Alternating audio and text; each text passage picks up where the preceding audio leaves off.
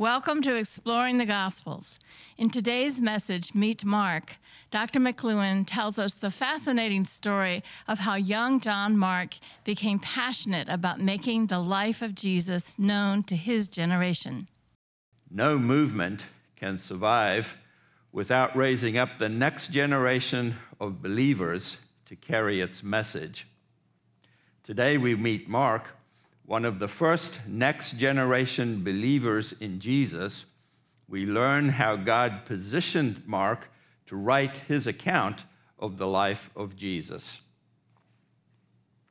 Mark was mentored by several of the apostles to carry the message of Jesus to future generations. Mark's mother, Mary, was one of a group of women who financially supported the ministry of Jesus. And you can be sure that these ladies prayed that their sons and daughters would become strong followers of Jesus and share his message with their peers. Now, there's a passage in Acts chapter 12 where we learn some important facts about Mark. Let me set the stage for this uh, exciting text before we read it so we understand just a little bit what's going on. The Apostle Peter had been arrested in Jerusalem by King Agrippa. He's asleep, chained between two guards, and at least two more guards between him and the street outside of the prison. An angel awakes Peter, his chains fall off. That had to make a lot of noise. The guards didn't wake up. He's instructed to dress and to follow him, follow the angels. And so they walked out of the prison, and the doors automatically opened, and there they were in the street in front of the prison in Jerusalem. And after going down just a few blocks, the angel vanished. If you were Peter, what would you do? well, I'd head straight to the place where the followers of Jesus were known to be gathered and praying. Now, I hate to leave this exciting rescue hanging in the air, but it's at this point that we learn several important details about Mark and his family. When Peter realized that he was not dreaming, we read this in Acts chapter 12. He went to the house of Mary, the mother of John, whose other name was Mark, where many were gathered together praying. Acts chapter 12 and verse 12. In this verse, we learn that the lady by the name of Mary, it was made her home available to the followers of Jesus to gather. And we learn that the mother of John, uh, Mary's mother's John, but John also goes by the name of Mark or John Mark. And as long as we're talking about Mark's family, we should also note that he was the cousin, a cousin to Barnabas, one of the famous early leaders of the New Testament church. We learn about the relationship between Mark and Barnabas from an unusual comment that Paul made writing from prison to the believers in the city of Colossae. If you turn with me to Colossians chapter 4, we read that Aristarchus my fellow prisoner greets you, and Mark, the cousin of Barnabas, concerning whom you have received instruction. If he comes to you, welcome him. Colossians chapter 4 and verse 10. Now, you might be wondering, why did Mark or how did Mark end up being with Paul while he was in prison in Rome? And to answer that, we need to go back the story up a little bit and gather more information about the details of Mark's life. After Stephen was martyred for his faith, many of the followers of Jesus moved to Antioch in Syria. And through their witness, a large number of Jewish people living in Syria turned to Jesus for salvation. Uh, some of the followers of Jesus in Cyprus traveled to Antioch where they intentionally shared the message of Jesus with Gentiles for the first time. This is a, a, shift in the way people were thinking. It was a groundbreaking development in the spread of the gospel to the ends of the earth. News of this bold decision reached the ears of the apostles in Jerusalem. And they asked Barnabas to go up to Antioch and check it out. Go up there and see what's going on. See if you see it's real. Barnabas was quickly convinced that these Gentiles were genuine followers of Jesus. Barnabas knew that these young people needed a good teacher. He said, I know exactly who you need.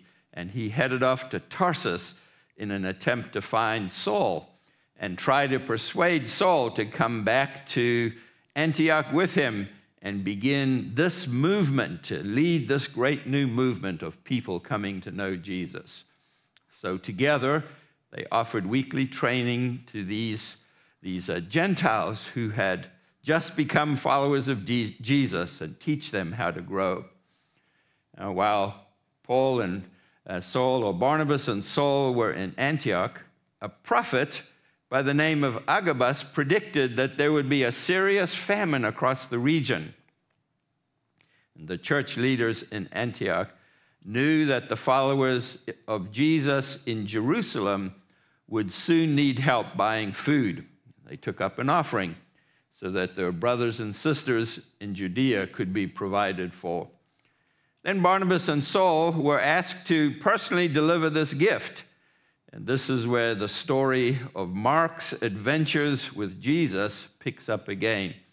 We read Barnabas and Saul returned from Jerusalem when they had completed their service of bringing and bringing with them John, whose other name is Mark. And so we, we find out that Mark has been invited to travel with Paul and, and uh, Barnabas back up to Antioch. Barnabas had such a high regard for John Mark that he wanted him to see with his own eyes what was going on in Antioch as they continued to disciple the new believers. John Mark must have been excited about this opportunity to see what God was doing in a greater way than ever happened in Jerusalem. Now, John Mark did not at all expect to become an eyewitness to the first international trip that was about to be launched from the church in Antioch. During one of their amazing gatherings, we read while they were worshiping the Lord and fasting, the Holy Spirit said, Set apart for me Barnabas and Saul for the work to which I have called them. And then, after fasting and praying, they laid their hands on them and sent them off. Acts chapter 13, verse 2 and 3. Now, apparently, it was more than Barnabas and Saul who were sent off from Syria to Cyprus, because this is what we read when they arrived in Salamis, they proclaimed the word of God in the synagogues of the Jews, and they had John to assist them. Acts chapter 13 and verse 5. Now, while we don't know exactly what Mark did, it could have ranged all the way from physical work of handling baggage or spiritual tasks like teaching and baptizing and healing people. What we do know is that their mission went very well. We read that, we read that they went through the whole island from Salamis in the northeast corner to Paphos in the southwest tip of the island. I visited Cyprus and driven from Larnaca in the middle of the island all the way down to the bottom to Paphos. And whenever I take journeys like this, I'm always impressed with Paul's physical stamina to walk such great distances and his passion to share the message of Jesus. Now, in Paphos, Mark witnessed a phenomenal display of the power of Jesus over evil, casting out spirits. That person who had criticized them was, Paul said, would be temporarily blinded, and indeed he was, and then his blindness lifted. And all of this so impressed the governor of the island that he too became a follower of Jesus. From Paphos, Paul and Barnabas felt that they should move on to Perga in modern day Turkey. The Bible doesn't tell us why, but when they decided to move from Perga inland to the interior cities, John Mark did not want to go any further on the trip. And even though John Mark loved his uncle, there was nothing that Barnabas could do to, to, to change his nephew's mind. And so Mark left the group and sailed back to Jerusalem. Paul and Barnabas went on to visit these cities. Many miracles took place. Wish I could take time to tell you about that, but that's not our purpose today. We're focusing on Mark. Eventually, they returned to Antioch and shared how God used them to lead so many people to faith in Jesus. Now, success like that often brings out jealousy in people. And some people from Jerusalem came up to Antioch and began to say to all the Gentiles, No, no, you, you're not saved unless you do all the things that are mentioned in the Jewish law. Uh, this just brought about a lot of heartache and confusion. The church thought we better send our leaders, Barnabas and Saul, back to Jerusalem and, and, uh, and report there directly about how God is working in the lives of Gentiles and that they should be free from Jewish law. As they spoke at that meeting, we read, All the assembly fell silent and they listened to Barnabas and Paul as they related what signs and wonders God had done through them amongst the Gentiles. Acts chapter 15 and verse 12. Well, this report was enough for James to decide that the Gentiles did not need to follow the Jewish laws to be saved.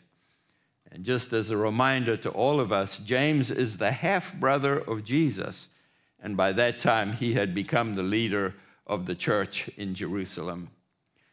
John Mark, who had previously returned to Jerusalem, was an eyewitness to the report that they had just made and the decision they had just taken to not require Gentiles to follow the Jewish laws.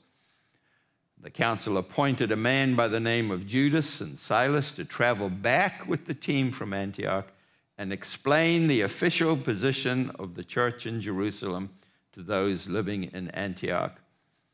And it seemed that John Mark decided to join them and return to the city of Antioch. Perhaps he wanted to see what God was doing there.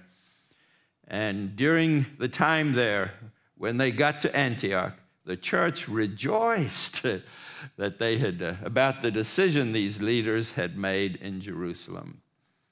Now, before long, Paul said to himself, We got to go again. Just can't stay here. We got to go again. You ever got the goes feeling? Paul felt an urge to take a longer and even more ambitious trip than the first one. And when Paul began to talk to Barnabas about this idea, a hidden problem surfaced.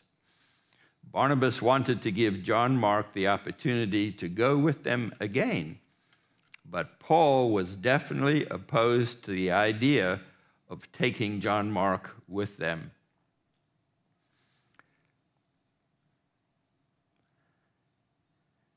Now, there have been many discussions about who was right and who was wrong. Let me take some of the tension out of this conversation by making several important observations. Although Paul and Barnabas did not see it at the time, they were too important to the kingdom of God to be on the same team. From the perspective of heaven, it was much better for two teams to be sent out than for one team to go. It really was not about John Mark, it was about the Holy Spirit seeing a better strategy for them to follow. And even though there was some pain in the split that occurred, it really was better for those two men to take two teams rather than going out as one team. Paul and Barnabas had learned enough from each other to lead their own teams and reach more people with the message of Jesus. Some healing would be necessary, and that indeed did take place. And at the end of his life, Paul wrote and said, Please send John Mark to come and see me and visit with me. I need his presence. Well, at this moment, Paul chose Silas and traveled uh, to the west, spreading the gospel into Europe. And Barnabas chose John Mark, returned to Cyprus, and then it appears that they went on from Cyprus south to North Africa, sharing the gospel with people there. This, there is an early church tradition that says Mark became the bishop of the church in Alexandria. And he may even has traveled as far south as Ethiopia. This is what we do know that for a period of time, Mark was mentored by the Apostle Peter. In a cryptic message referring to Rome as Babylon, Peter wrote these words She who is in Babylon, who is likely like you who was chosen, sends you greetings, and so does Mark, my son. 1 Peter chapter 5, verse 13. It appears that Peter took Mark under his wing and saw in him someone who was more than a helper. I believe Peter saw more potential in Mark than either Barnabas or Paul had seen at the time. So, what did Peter see in Mark? Peter saw in Mark someone who could write an account of the life and times of Jesus that would appeal to the next generation of young people coming to faith from amongst the Gentiles.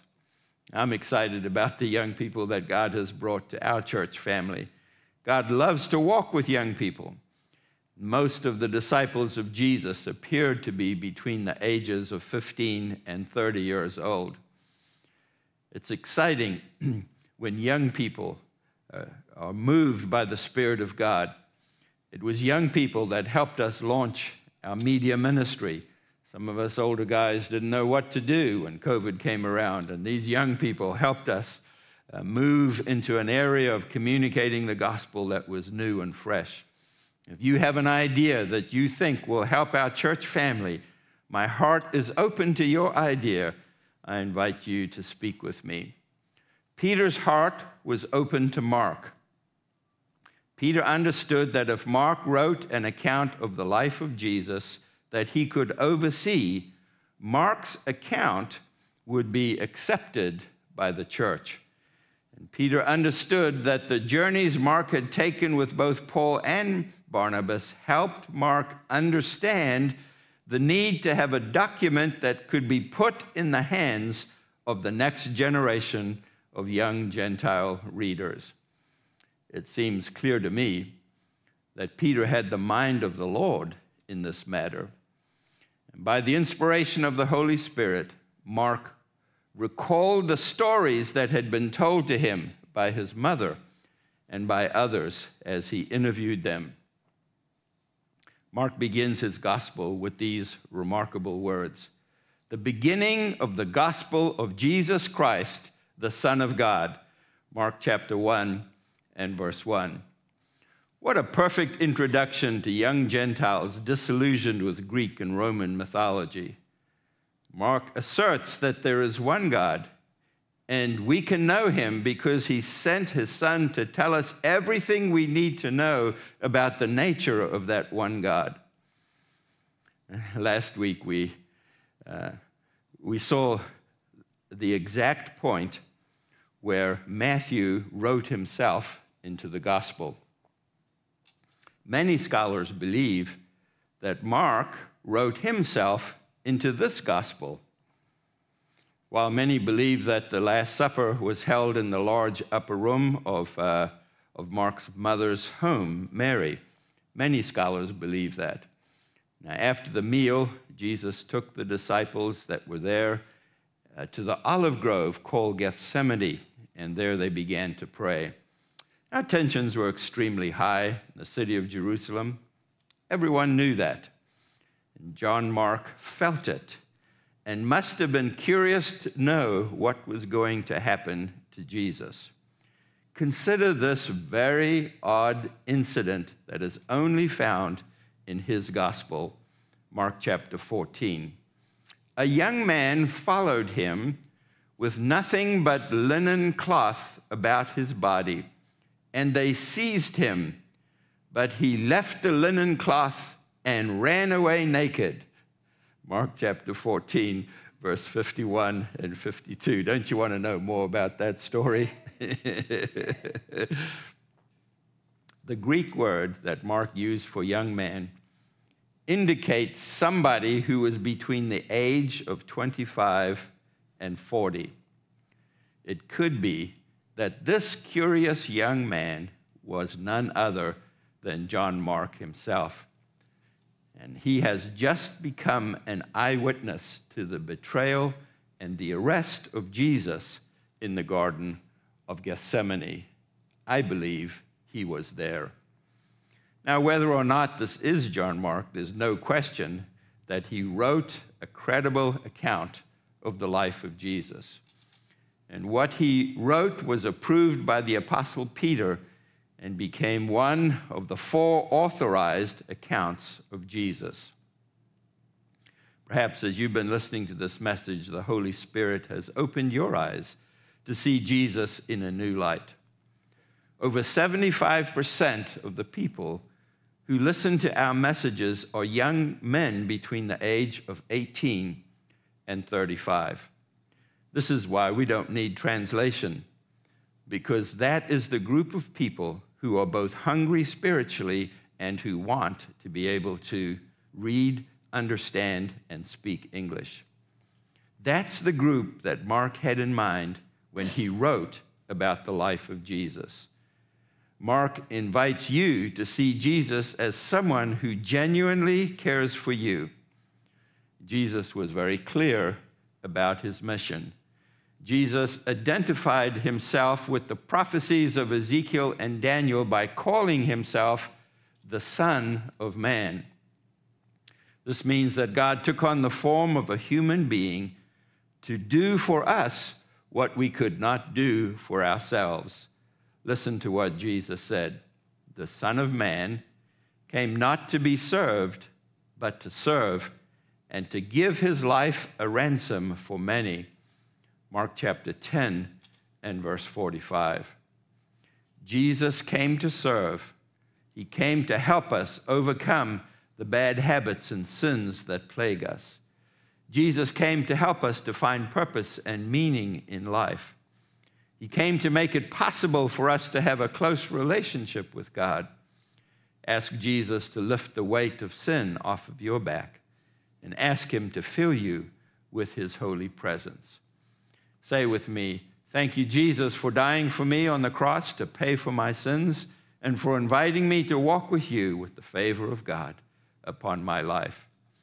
If you just prayed with me to accept Jesus as your Savior or were healed, while listening to this message, write to me and tell me more about your decision to follow Jesus. Thank you, Jesus, for using young John Mark as a faithful witness to your life. Thank you for the good news that he carried into Africa and that still saves lives today. Use us to carry your good news this week to your glory. Amen. We hope this message has filled you with living hope in Jesus. If you would like to talk to someone about your spiritual journey, please leave a comment or send us a private message. We enjoy reading your notes and having an opportunity to pray with you. If you received a blessing through this message, please share it with others. We invite you to become a Living Hope partner by donating as little as a dollar a month through our QR code. Your gifts will help us create new messages and reach more people. Living Hope is a ministry of Ingleside International Incorporated. All donations for Living Hope qualify as a charitable contribution. Thank you for your prayers and support. Next week, we will continue learning together from the Word of God. God bless you and fill you with living hope.